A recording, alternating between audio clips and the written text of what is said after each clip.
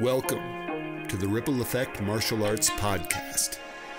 Welcome, everybody, to the podcast. Hey, everybody. Today we have Mr. Chris Green. He is the president of Remington Hotels, which is one of the top hotel management firms in the United States. He's a pillar of the industry and a self described, I think this is right, leadership junkie. Is that? That's Okay. correct. So we're going to be talking about leadership today, leading, creating leaders, and um, family, and of course we'll talk about some karate and martial arts in there too. But w- welcome to the podcast, Mr. Green. Thanks, Mark. And please call me Chris. I'm glad to be here. sure will. So, how did you get into the martial arts? Your your daughter has become a black belt. Is that That's correct. She just achieved her first Dan this past uh, two weeks. So, how did that start for you? What drew, drew you to martial arts? you know, frankly, my wife is a fitness instructor. And um, so I had here I have my sweet little six-year-old baby girl. And uh, my wife was taking her and taking her to the childcare at the gym she was going to. And they they they were looking for something for her to do. And i always imagined just because she loves to sing and dance and she's really good at that that she would be in some form of singing and dancing. And little did i know that as she watched from the kids area in the gym that uh, what would now become ripple effect in middleburg florida was having its very first kickoff classes inside the workout room in the gym. And she was watching with just great enthusiasm and excitement and uh, she asked her mom if she could try it. And here we are you know my uh, cute little blonde baby girl is uh, putting putting out work right? Uh, and just i saw her go through her black belt test which was incredibly difficult. I, I i know you know you know your children and you know the looks they have on their faces. And i remember at one point she looked over at the window. We were behind a window. We could see her and the look on her face was just of i'm not going to make it. But she was so determined to push through and she did and I, i'm just unbelievably proud of her. The discipline and the um, just the overall sense of self-worth and self-accomplishment has been incredible to watch. That is wonderful to hear. I heard you say in an interview that one of the things that you look for in leaders, and this is struck me as a little counterintuitive, but you said not total self confidence or something. It, it- uh, like a overabundance of self confidence is uh, detrimental almost. It is. It's a risk. It's. I really do believe it's a risk, Mark. And I, and the reason I believe it's a risk is the minute.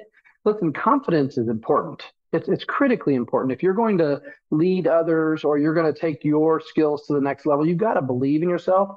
But there's a teetering point there where overconfidence or in believing, I always say never ever believe your own hype, even if you deserve it, right? So um, I, I'm very thankful for my role, and, and it would be very easy to get underneath kind of the feelings of, wow, I'm the president of this large company, and kind of start believing a little bit too much about what Chris Green thinks or says. But that limits what I'm willing to hear from the outside world. So if you're a leader and you, you're you're coming from a place where you only believe in what you think is right, or you're confident in your ego or your belief system, and you're not willing to be open and curious, which is one of my other leadership traits I look for, then you're going to miss out on opportunities to a engage those around you and get them to enroll in your what you're trying to get done and b learn something. I learn something every single day. Every single day i learn something and when we stop i think that's that's a, such a risk to our leadership when you said about your daughter, the look on her face, and that you could tell as parents that there there's there's something going on there. It's not necessarily self doubt, but it's like, can I do this? And then you overcome it, and that's so interesting to me in um, the world outside of martial arts. When my older kid was earning a black belt and in it was actually just before the black belt test it was the high brown test. I'll never forget that Mm. going into the school. And master you see the first thing was standing attention student creeds and then 90 push-ups. And i was going whoa okay. It is nine years old. And i saw the same thing just a, a, a glimmer of 90 okay you know let's try to do this. And it took a while. But uh, overcoming those kinds of uh, hazards and obstacles. And I'm sure that you've seen a lot of that as a general manager of hotels and resorts and as a leader of a hospitality team. Anything come to mind uh, when you've been in a real clinch at a big event at a hotel? Sure. Things and how you got probably they're they're probably too many to count, but I, I you know I think of the, I mean for example, there are you know, I remember back I was running a resort when Hurricane Katrina hit New Orleans, and I was not in New Orleans. I was in the Gulf coast of Florida running a large 600 room resort, and it was a Sunday afternoon, and we had because it was Sunday, that was one of our big checkout days. It was a resort where people stayed six or seven nights and they would leave and then we would clean and then they'd check back in. But it was in the fall, I think it was August. And so we had a slow day. Well, we were doing our normal business and noon on Sunday, I'm thinking I'm going to be heading home and going to spend time with the family. Katrina hits um, New Orleans and immediately we went from, because we were about 130 miles from New Orleans as soon as it hit and it turned towards there, and the question was, how are we going to house not only a normal set of guests with one or two people, but they were coming with pets, their complete family, and we weren't prepared to be sold out that night in hotels. Right, we keep food on hand for what we expect based on forecasts. And so I, I remember the look in the eyes of our team standing there having a, a staff meeting at about three o'clock saying, Hey, this is what we're going to have to get done. And as a leader, the good news is is experience and the training just like all the work that's put in in the you know the white belt and then the orange belt and then the green belt the, all that work is called upon at when it's needed. And that that is like muscle memory. It's just like those push-ups. You just learn how to do 30 then 40 then 50 then 90 well so i had been through a lot a lot of situations never one this big but we we did. We pulled it together. We called in extra staff. We organized the building. We changed the way a lot of the rooms were set up to be able to have multiple people in the rooms. We set up a pet area outside with fencing. All this happened, and we did. We sold every single room, even some rooms we didn't have. We found some housing for some people, and we made it through. We ended up housing people for I think it was 60 to 65 days because their houses were destroyed. So it turned from going to an immediate need to a longer need, but the team did admirably, and really for one reason is they can sense that I wasn't afraid, that I was willing to stand there and fight that battle and charge that hill with them. And that's what people need from leaders is listen, and I didn't have all the answers, but you have to have a strong enough belief that in effort and the things in your muscle memory will help you persevere. So I think there's a big difference there, Mark, between having this attitude of arrogance where I know I can overcome it to believing everything you've learned and everything you've ever done will help you push through. You may not know what that looks like, but you're going to push through. That's an amazing story. I I think it speaks to the curiosity and flexibility too, because the hospitality industry generally you think of resorts, hotels, people or places you go to get away or vacation, and historically they have been a a center for um, natural disasters or the pandemic or the housing crisis in 27, 28, 29. People needed to find housing, places to live. Yep. And it was the hospitality industry that really came together to help do that.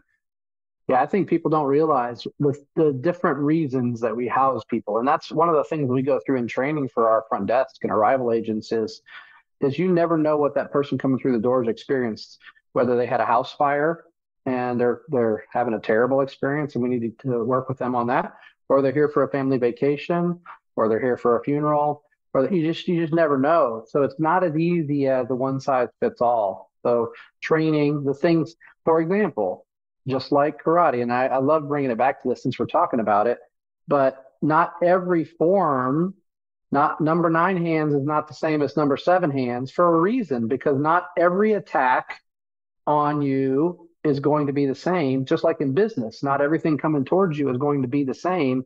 You have to have alternative ways to handle it. And I think that's it's really interesting as I've started to speak about leadership with some of the uh, the people here, how much all of this lines up. everything the training that the, the students go through to you know what we go through on a daily basis in business it's all the same and i think this is just really preparing them to be already armed for flexibility and curiosity and perseverance and compassion those things are they're learning now those will benefit them so well in the business world or whatever they choose to do out in the after they get done so it's really interesting how that does apply in the way that people look at it i have a friend who's German born and raised, and he's an American citizen now. And he really helped me through the training through black belt and at all the tournaments and all the tests and everything. And uh, our kids went through it together. But he, I remember on the on the sidelines in the second black belt test at Ripple Effect Martial Arts. This is going back some time, but he was watching what was happening, what the students of all ages and backgrounds and everything we're going through. And he said, Can you imagine you have to go through three of these just to earn your black belt? And he said, You you're you're more prepared than other people for entrance into the military or a firefighting academy, um, police academy, things like that, where they're going to be asking you to be really organized, really on top of things, all the while under stress. And I, I went, yeah, you're right. I, this is really impressive for your daughter. It, does she feel how does she feel about having earned a black belt does she reflect on it it was one of the most she does and it was one of the most tense weeks heading into it because it was the culmination of you know when your beliefs and your confidence conflicts with your fear right so when those two run together you know am i good enough am i strong enough with well i'm trained i've been trained i can do it and and there was actually a time during her test, watching through that window, when I saw her switch from timid, not timid, but concerned to overcomer. And that's when I knew. You know, she kind of could get through. For us, board breaking, her board breaking was probably the biggest concern. She's small. She was she may be 75 pounds right now, 80 maybe. And so she's worked super hard on her breaking and she had to break five boards in the test and all different breaks and um, the speed break is the one that always concerns her the most. And so she she got right to it, and she just she broke everything. And then she got to the speed break, and she she hit it the first time, and she didn't do it, and I could just see her like buckle down and snap it the second time. It was incredible. So um, she's overjoyed. She she's so proud. Uh, she finally got her her full blown you know embroidered black belt last weekend or two weekends ago and she, she's just ear to ear, and it's just changed her as a as a young person. She's already a leader. She really does. She teaches. She leads class. She people are drawn to her. She's charismatic. But these things have given her skills to deal with um, adversity and times of strife in a way that my other two kids who are older, I have two older children that we didn't do this with. I didn't do this. We didn't even know about karate at the time, so we uh, didn't have this. But I wish I, if I would have, I would have put them both through it. I'm so glad that you that you're seeing that those benefits. How about her teachers in the schools? As a, a parent watching her get instruction, and what did you what did you see or admire about leadership in the schools from the instructors? The uh, her instructors were incredible. So she had uh, Miss Davis, and then um, Master Jan Lappin, of course, and then Braden Gahan, who I believe he's testing for third degree here soon. And then, uh, of course, Rachel Macy, Master Mrs. Master Macy, who we call her. So they're just incredible, super kind, but tough. And they see potential and they push for that potential. I think that's another uh, aspect of leadership that people don't talk about enough you know, I'm known as a culture guy, right? And people really mistake culture for weakness. And that's not the same. People mistake kindness for weakness and passion or compassion for weakness. And those are not the same. Honestly, if you're very compassionate about someone, you're going to be firmer with them because you're going to help them to see the outcome they need. And um, I actually uh, have a, a, talk that I give called the Riverbanks, and I talk about as a leader, it's a visual that everybody can see. And as a leader, you've got to have firm riverbanks. And as long as everybody that's in either Ripple Effect Martial Arts or in my hotel business is going down that river and they're all kind of in the river and they're using their skills differently to make our company great or our dojo great, then then that's fine. But I, as the leader, have to have these riverbanks. And if you get up against the riverbanks, my job is to guide you back into the river. My job is not to let you flood because a flood is a wreck. And, and that's what happens to a lot of businesses when there's not firm leadership. Same thing in karate. If there's not firm guidelines of what is and isn't accepted, bowing in, bowing out, you know, appropriate use of terminology, appropriate behavior. When those things fall down, then what do you have? You have a flood, and that's just a mess. So I think that it's critical that you are compassionate and fair, but also tough. That's a great metaphor. The idea, I think, is that you're not tough on people, you're helping people realize how tough they can be, kind of. Yeah. Um, yeah.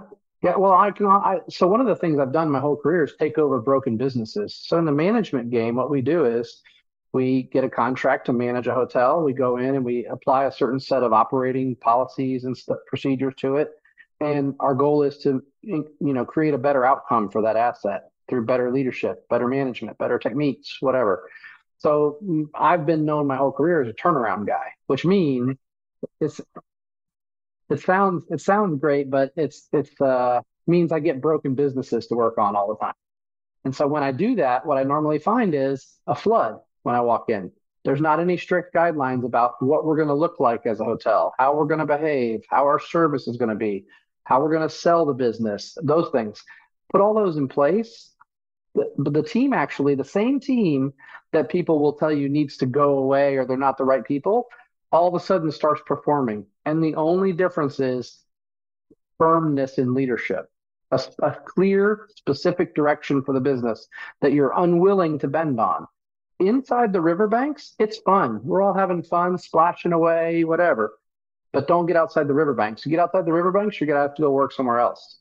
And that's not mean, it's just a fact.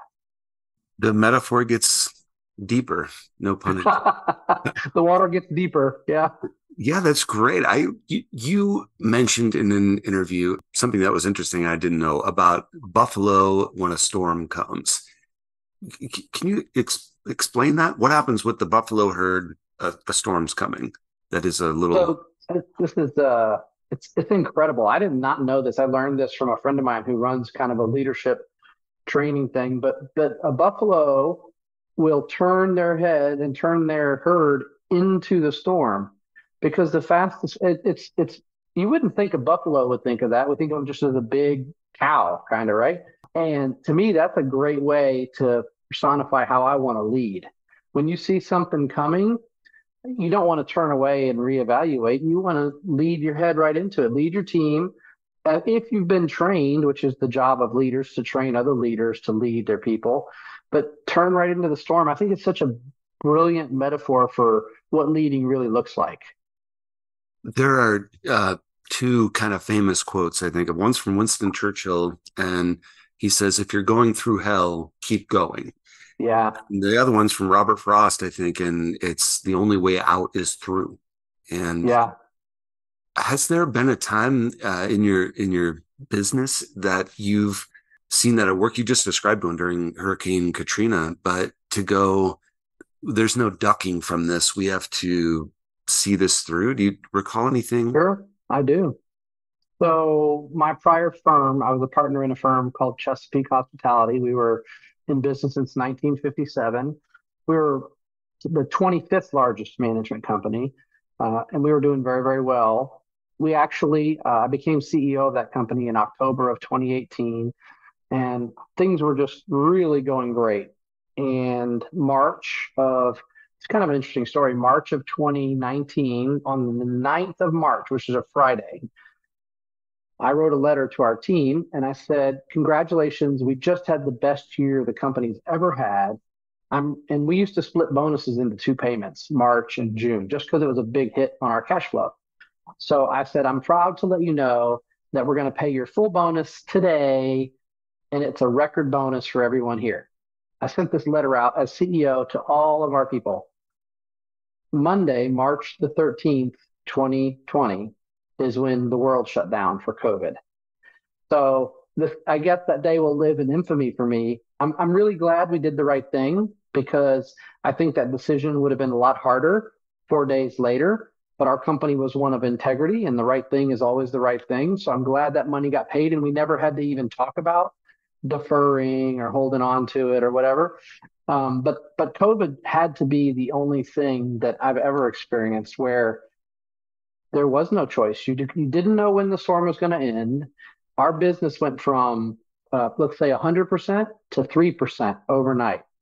Businesses can't sustain like that, and it was months before the government got involved, to have some sort of subsidies we were, you know, we had thousands, and at that time I had about 2,800 associates. So you have all these people live in your hands you're trying to figure out how to make it whole for them.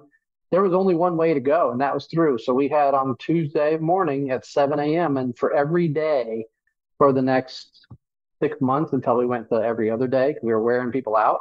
We would have a complete company call every morning at 7 a.m. And we couldn't leave, so it was on Zoom and we would go over what happened the day before. What, are we seeing any signs of life? How do we attack the markets? How do we preserve health insurance for our people? It was just a constant. And every morning I had to wake up and push through. Did I want to every day? No. But you know, I said at the talk that I gave down here, leadership is not a position, it's a responsibility. So, you know, for all the black belts that are growing their their leadership roles, they need to realize it comes with a lot of things you have to do that you may not want to do every day. And sometimes it means getting up and looking at a screen of two, 300 people, and they're looking back at you wondering what's going to happen next. And you've got to be positive, you've got to be motivated, you've got to have a plan. And imagine making a plan where there is no plan. You know, the last time we went through this was 100 years ago with the Spanish flu. So we had no plan. I, I actually was in the hotel business when 9 11 occurred. I remember at after 9 11, we said, no, nobody's ever going to fly again. Well, we did. And in 08 and 09, the financial crisis, oh, hotels are not going to be a thing anymore. Well, they are. And so then COVID. So, so the, what I do like about having experience and having a little bit of gray hair is I was informed by those two experiences. I knew our business would be back. I didn't know when or how, but I knew it would. And we only had one choice to put our heads down, turn into the storm, and go through it. You're so involved with making sure that people's livelihoods, their families, themselves, their health uh, is taken care of. Why is that so important when you're also trying to get your numbers right? So here's the thing I, am actually in the middle of writing a book. I actually, I'm pretty close to the end. I actually see that the uh, person that's helping me with the writing is texting me now. And I talk in that book about my leadership journey and what I've learned. And honestly, for the first I tell a story about a housekeeper, and for the first eight, eight or nine years of my career, uh, I'm not sure that my belief of who I was as a leader lined up with how I presented. Uh, because I think if I look back and I'm honest with myself, my goals were really positional. I wanted to make the next job. I wanted to do this, and I wanted to, and and I was raised very compassionate. I I was a service oriented, heart led type person. But sometimes I think those things get misaligned because of prioritization. And I was walking through the lobby of a hotel here in Florida. I was the assistant general manager, and I wanted to be a general manager so bad. So I'm bustling through the lobby, moving 100 miles an hour, knocking things out. Good morning, good morning, good morning. And one of our housekeepers in the lobby said to me, um, Good morning, Chris, how are you? And I said, Fine, how are you? And kept on walking right? Because I was moving. I'm a busy guy, and I wanted everybody to know how busy I was. And this this moment changed my life. Really, that just happened next. She said, "Do you even care?" Oh, yeah, uh, yeah. So I stopped and thought, "Wow!" It's like I was hit with a hammer, you know. And and right in that moment, I think I was about 34 years old at the time. In that moment, I turned back and I said, "I am so sorry." You know, I said, I honestly, I did not pay you the attention that you deserve. I was commoditizing people and, and, and really a means to an end. And so what I decided right then, and then it didn't happen overnight, it doesn't, but that I was going to be more engaged with my people and let them be the way that we got our results instead of me making the results happen. And I can tell you that I'm a believer I've never asked for a promotion, not since that time, never. And I've never touted any kind of specific mathematical process for making our formulas work. I've always talked about our people and I've gotten them to believe in what I'm trying to get done and that them to understand that I care about them and their outcomes. And guess what? They produce great numbers. And it makes my job so much easier.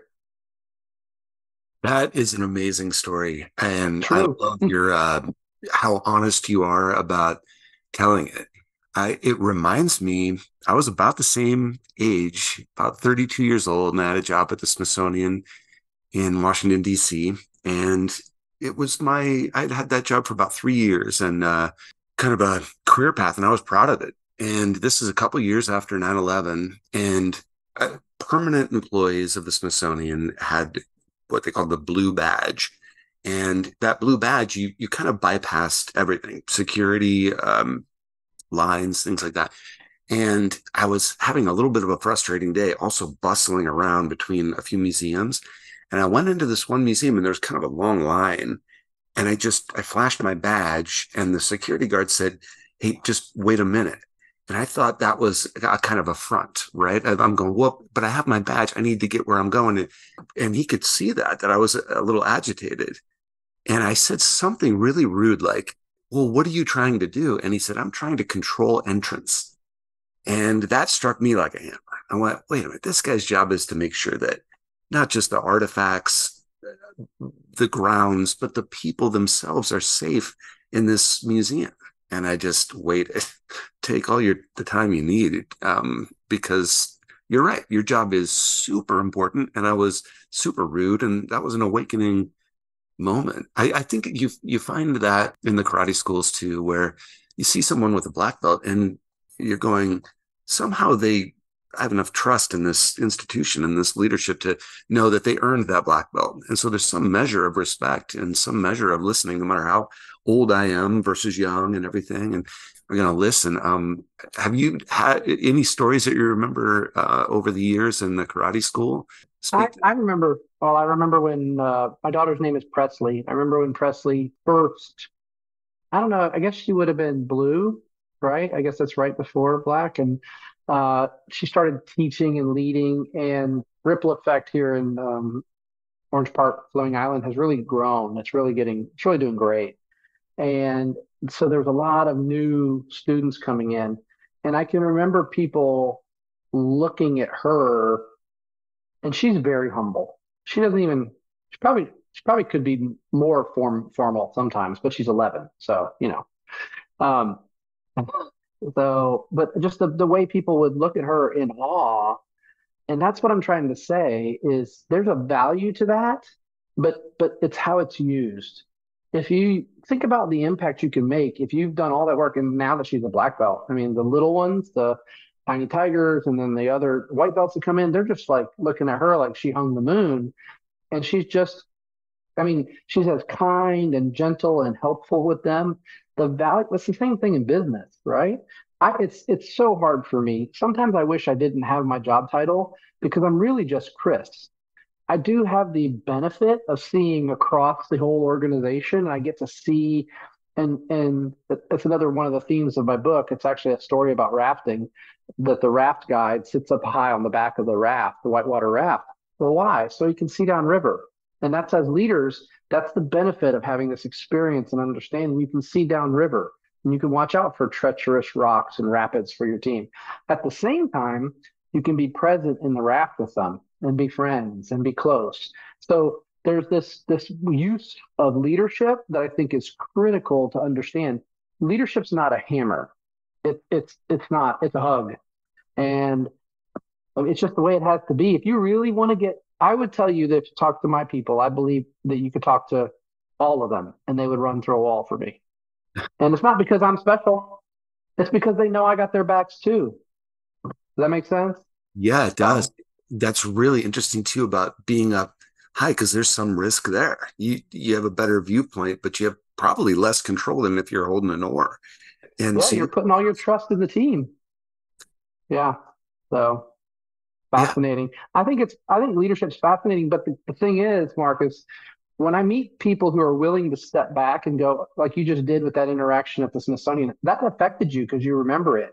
But but some people would just say, "Oh my gosh, that guy was a pain in my, you know what?" move on with life.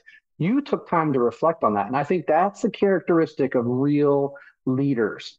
Is how do I make myself better for that environment? How do I not make this mistake again?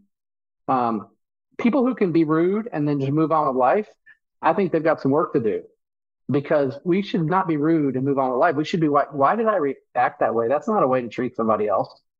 I couldn't agree more. And I, I heard you say in an interview that your grandfather was a railroad worker. Is that right? Yeah, he was a, a brakeman on the caboose. I mean, talk about an important job. And then your your father was this his father? Your father was in the military. They were both. My dad was in the military. Both of my grandfathers were brakemen on the railroad. Both of them. Um, my dad was in the military. My brother was in the military. You know, it's just I come from a lot of, uh, you know, my dad was my hero, but you know, he he was a great leader, but he never had a position of leadership. He was somebody that people would be drawn to, and he could get he could rally a team, but he was never really in a role where he led as a corporate leader.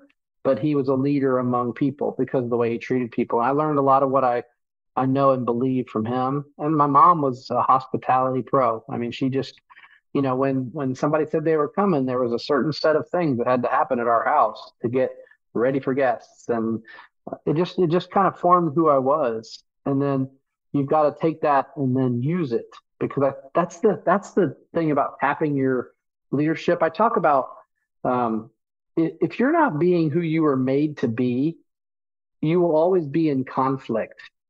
And living in conflict is no fun, not for you or those around you.